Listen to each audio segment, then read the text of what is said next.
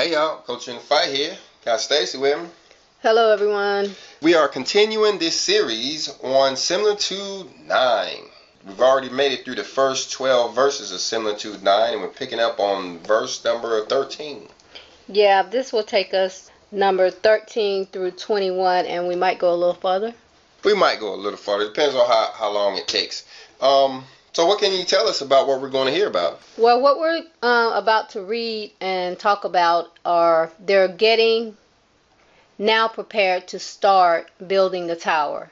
So um, they're starting to gather the stones, and the men have been called, and they're about to start building. Right, those angels are starting, are about to start. Um, uh, getting the stones from the mountains that we talked about in the last section, right? Yes. Okay. So if you've missed part one of this um, uh, uh, series on chapter nine, uh, similitude nine, you might want to go take a look at that because you've already missed the part about the different mountains, and um, you're going to start hearing about the uh, the stones, I guess, next, and the angels that will actually build this tower. Right.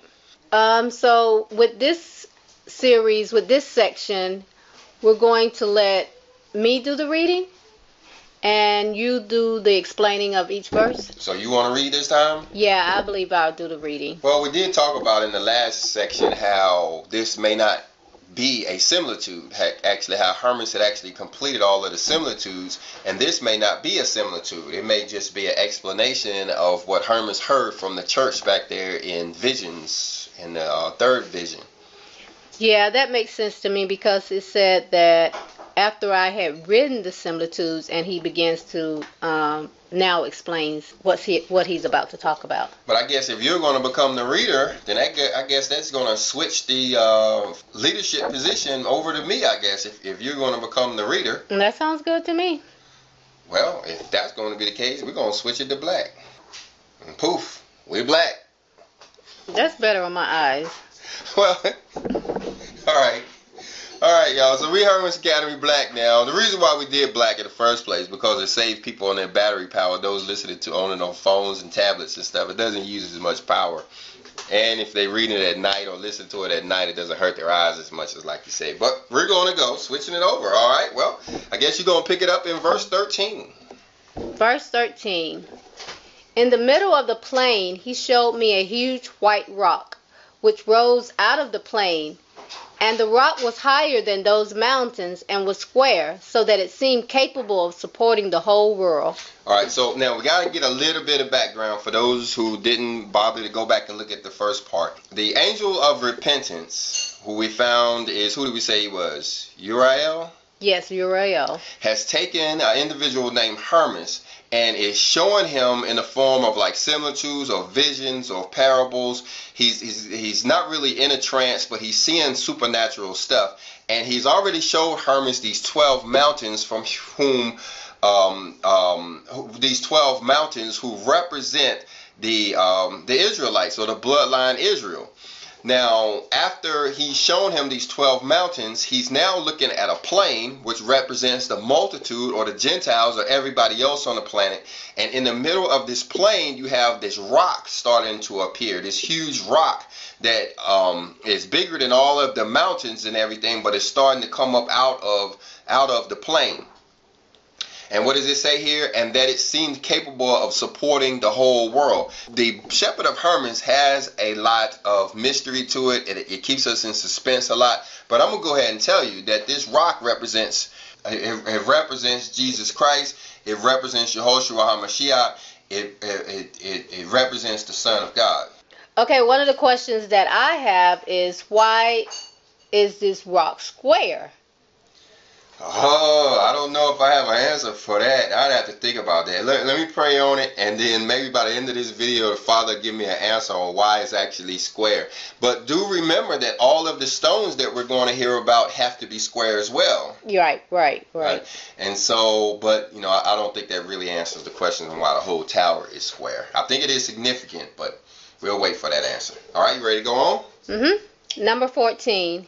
It looked to me to be old, yet it had a new gate, which seemed to have been newly hewed out of it.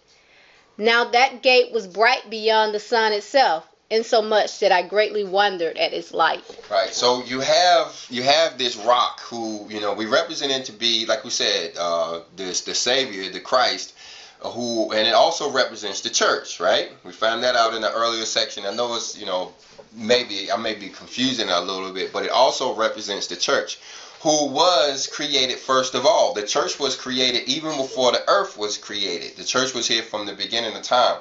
But now you notice that he's talking about this gate that's in the middle of this rock, like this gate had been recently cut out. That gate itself represents uh, represents the way or or Jesus or you know the Christ on how we're actually supposed to get into the tower. Okay, well, I, that is something new. I was wondering what the gate was representing, and it makes sense that the gate is uh, the way, the entrance. Yeah, and everybody has to go through the through the Messiah in order to get into the tower. And remember, it is this tower that is going through the tribulation and into the millennial age. Those who find themselves inside the tower will be uh, living in the millennial age what we call the kingdom of heaven, where the, the, the, the creator of all things, or the creator of heaven and earth, uh, comes down and actually uh, takes up his throne on the planet Earth for the first time and becomes the king of the planet. Okay, I'm just still uh, bewildered and, and amazed that it make it makes so much sense now that the gate is you know the the entrance. How many times have you read this book? I I've read Similitudes, I believe just once, but once. Yeah. But you've heard it a few times. Yeah, I've heard it lots of times. Yeah, there's a lot of information. You have to. This is a book. Um, when you talk about reading between the lines, yeah. Um, if, every time you read it, you're gonna get new information. Yeah, there's gonna be definitely something different that you missed the last time. Yeah, yeah, definitely. All right, so that's that's why we're here to kind of straighten some of this stuff out. But you ready? Fifteen. About the gate stood twelve virgins, of which four that stood at the corners of the gate seemed to be the chiefest, although the rest were also of worth, and they stood in the four parts of the gate. Now, we touched on these 12 virgins the last time. We kind of jumped ahead. What are they? Patience, power, continence, and faith. Um, are the four uh, strongest virgins that he's talking about there. And they have eight more um, offspring that come from those stuff like long suffering, long suffering, cheerfulness. Um, yeah, each of the uh, four strongest have two more. Uh, I guess you would call them offsprings. Right, and and it's, it's it's when you think about, and I know we're jumping ahead of when you think about how they actually come from one another, it's kind of it's kind of amazing to think about. But we're going we're going to get into that a little bit later. Okay, now, but what we need to notice about this verse is how these twelve virgins are standing by the gate, as if they are the gatekeepers. Well, they really are the gatekeepers because if you don't have them, uh, you're definitely not going into the gate. Right. You, we we have the the the stone there, which is representing the church, which is representing the tower, and all of us want to be in this tower. And and and this stone also had, or this rock he calls it, this rock has a gate with an entrance cut out in it. But in order for which represents uh, Yehoshua Hamashiach, but in order for us to get through this gate, we have to actually be uh, carried by the virgins, as the word is written. These these virgins are actually the ones that's going to carry us through the gate. Yeah, you have to have all of the the patience, the long suffering, the kindness, the cheerfulness in order to get into this tower. Okay, we may need to touch on those again, who all they are. But let's go on to uh, verse 16. It added also to the grace of those virgins that they stood in pairs clothed with linen garments and decently girdled, their right arms being at liberty, as if they were about to lift up some burden. For so they were adorned and were exceedingly cheerful and ready. Right. So these versions, like the, they, what they represent, is is spirits. Um, the spirit of power, the spirit of faithfulness, the spirit of cheerfulness. And Stacy is showing it to me over here in the book. We're, we're, let's go on down here and look at them. What that's what verse number, is that? That's number one forty two. All right, so here here are the virgins that he's talking about here in verse 142. You want to tell us about who they are? The first is called faith, the second continence, the third power, the fourth patience. Now these are the strongest ones. These are the big girls. These are the, the each one of these are standing at the four corners of the gate, right? And then, but but they have these. I don't want to call them lesser angels. That, like you say, they are born from the stronger ones. And what does it say? Each one of like power has two offspring, and patience has two separate offspring. Yeah, they said that they're the chief, but you know these other two have worth also. All right, so tell them about those. Who they? Who are they? Simplicity, innocent, chastity, cheerfulness, truth, understanding, concord, and charity. And like we said in the last in the in the last class, you really want to pull out your dictionary and look these up so you can get a deep in deep understanding of what these words actually mean. You know, especially ones like chastity and concord. You know, some of those I really didn't even know what they meant at all until I looked them up in the dictionary. All right, we're ready to go on. Yes. All right, seventeen. When I saw this, I wondered with myself to see such great and noble things.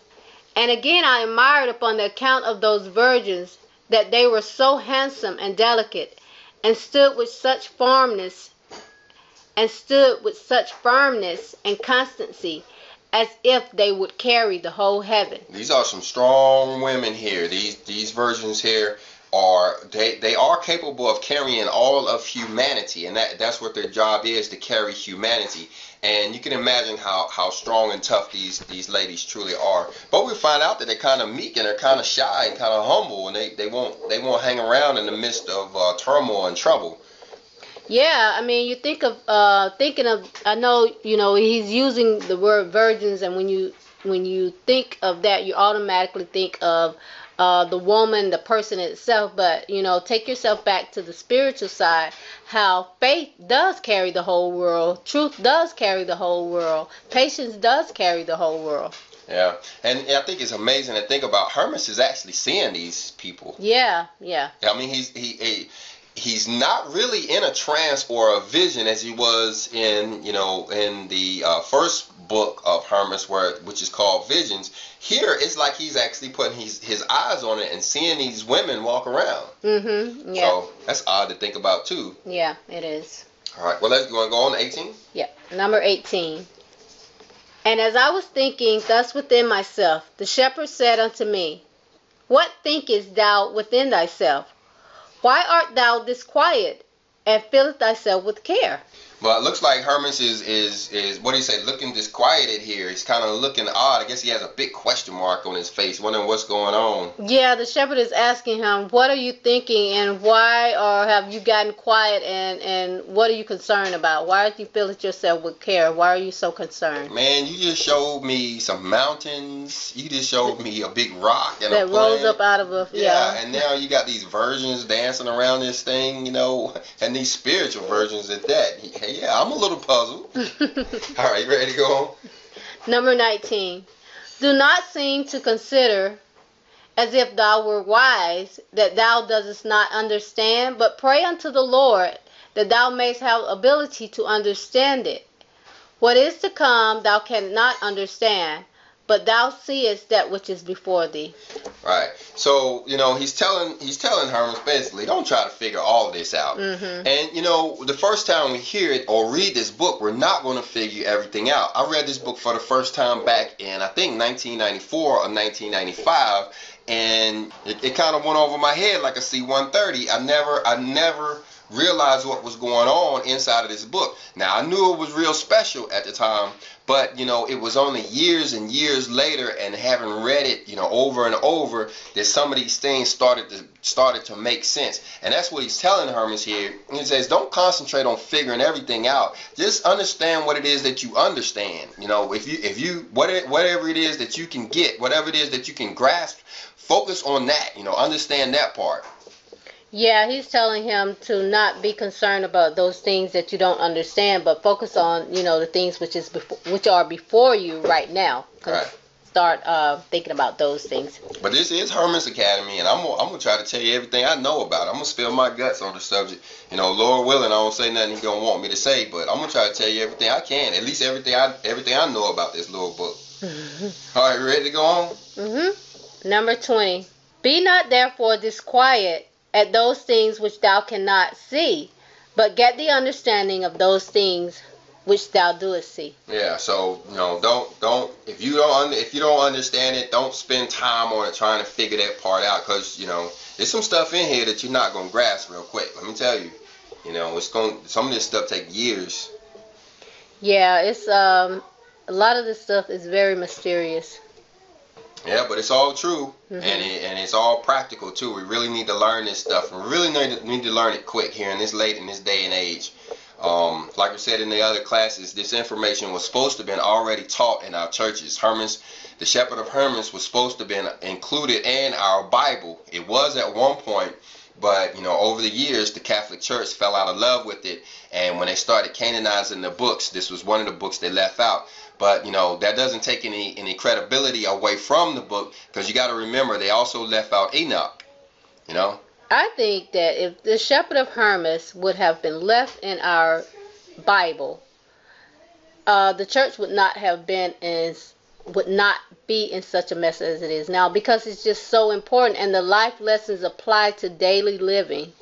So this this is a great book. Well, you remember the, the Reverend Pastor Deacon Dr. Doug. He would have been offended. He would have been offended immediately, and he wouldn't have never took the pulpit after going through some of the, the portions of the book, the talk that explains who the the false prophet is. Oh, yeah. and, you know, so you know, it, the church would be much different if this book had been a part of it. We wouldn't have so many, you know, sheep and so many wolves in sheep's clothing down there, and you know, and us as individuals, we we would not be so you know, quick to be angry or quick to be uh, selfish or quick to be impatient. We'd understand these things to be, you know, bad for us, and we'd be trying to take on these good virgins that he's talking about. I agree, the church would be much different. So maybe the Catholic Church didn't fall out of love with it. Maybe they just had, you know, it was intentional not to keep it in there. Well, you know, I, I can't really argue with that. It seems like some of the stuff, you know, that they did that they did take out was to hide the truth from us. A lot of the books that were left out, a lot of the books you find in the Apocrypha and stuff, do have, you know, a lot of information as far as the end time scenario. We read a book on YouTube. What was it called? The Apocalypse of Elijah or something like that. Mhm. Could you imagine what the world would be like if if that book had been taught in the churches? But the the Catholic Church would never let that happen. Hmm. All right. Uh, It, it implicates them and shows them in a bad light, and you know they they weren't gonna let they weren't gonna stand for that. All right, you ready?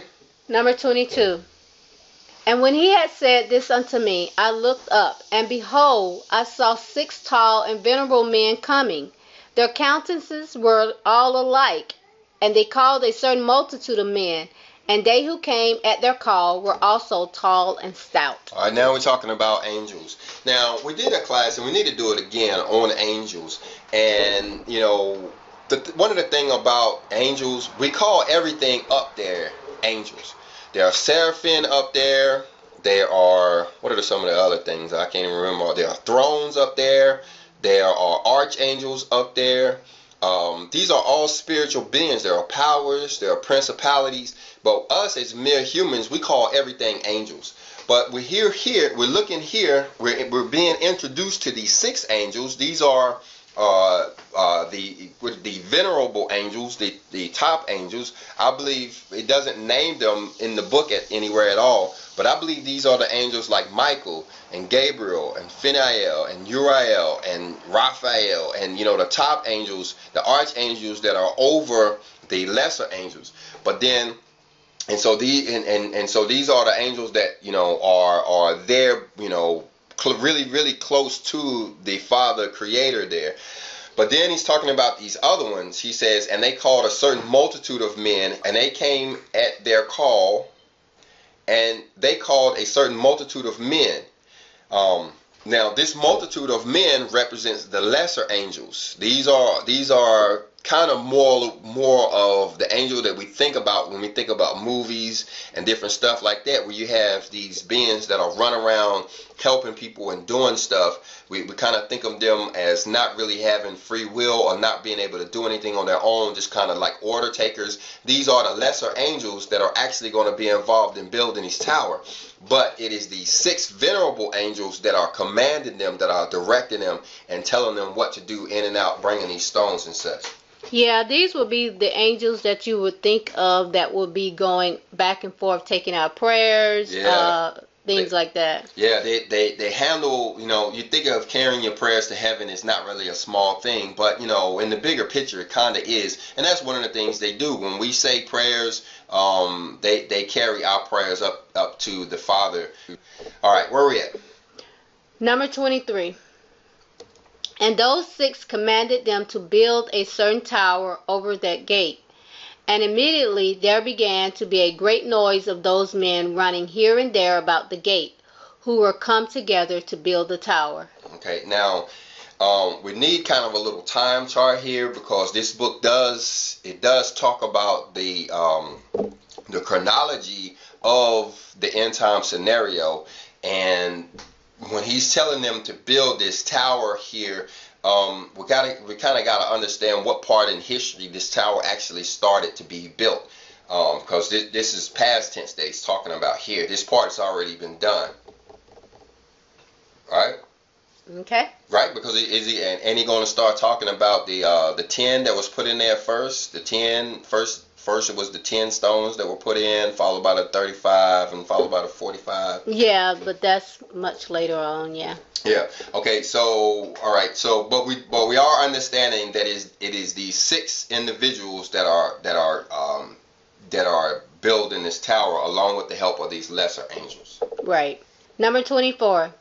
But those virgins which stood about the gate perceived that the building of the tower was to be hastened by them, and they stretched out their hands as if they were to receive somewhat from them to do. All right, so these are the virgins who know that they, they have a key role in this thing. They, they have a very, very important role as far as, you know, who's going to be put in the tower and how they're going to get there. We find out later that nobody can enter the tower, even Yehoshua HaMashiach himself, even the Christ himself, had to take on these virgins before he could get into the tower. We find that out. Yeah, he had to go through all of this stuff in order to to to get into the tower. So, and it will tell tell us that the father says, uh, you make sure don't nobody come through this tower without going through these virgins. Yeah, so they are very, very important. And so now that they realizing that the tower is being built, they're like, hey, it's go time. Let's get ready, ladies.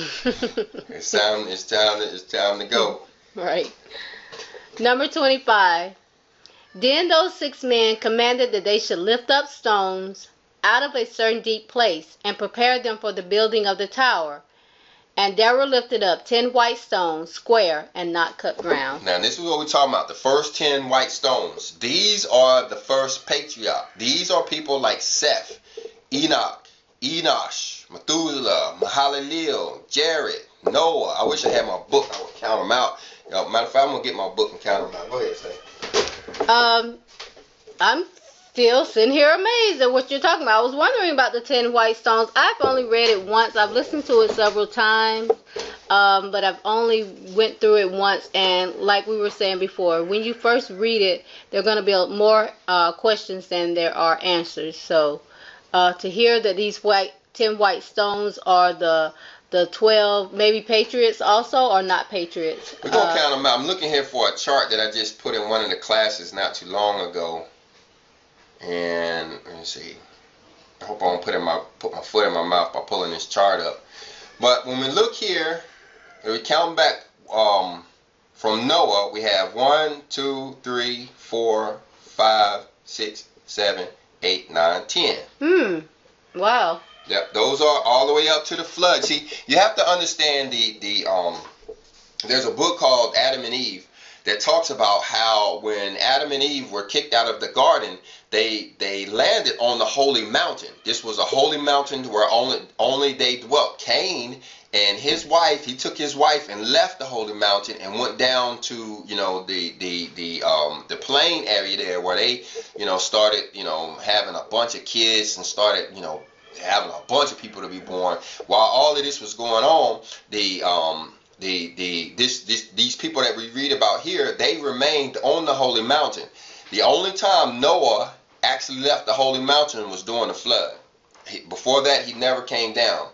So these people are Adam, Seth, Enoch, Can- Enos. Enos, Canaan, Mahalalel, Jared, Enoch, Methuselah, Lamech, and Noah. Yeah, those are the first ten.